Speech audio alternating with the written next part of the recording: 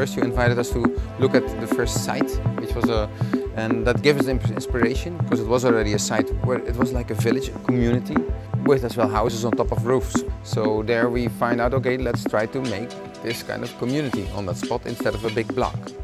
I know the process, that gradually the city will turn in higher densities because of the value of the ground. That in the same moment, people that used to live underground with having a townhouse, they go out of the city.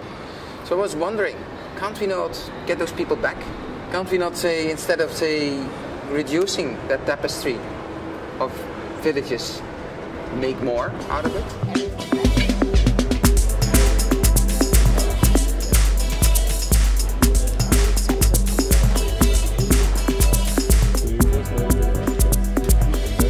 architecture is as well about say, responding to, uh, to directions and to think about it. Everyone asks always, what's next? It's about curiosity, about, it's about, you want to learn, you want to know what the ne nextness is. So we have a future city program, as it's called, where we can see that say, this reasoning can be exercised.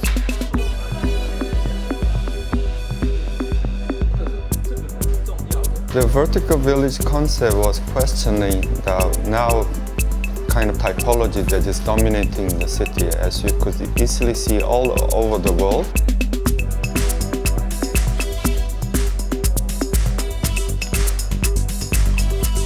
We try to be very utopian and visionary, but at the same time it's very necessary to have a link to the possible, to the practical.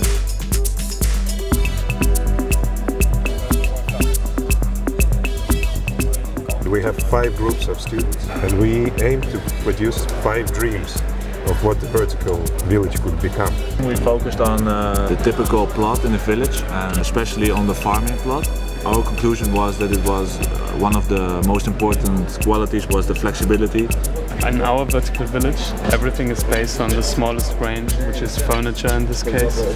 So people will assemble their village by assembling and putting furniture together and this tactic, the whole thing will grow.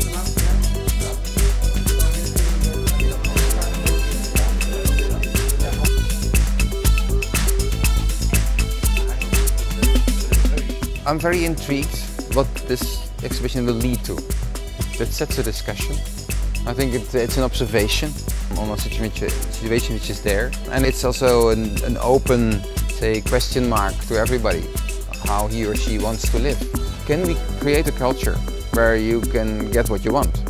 Or where you express what you want? And when you try to realize that?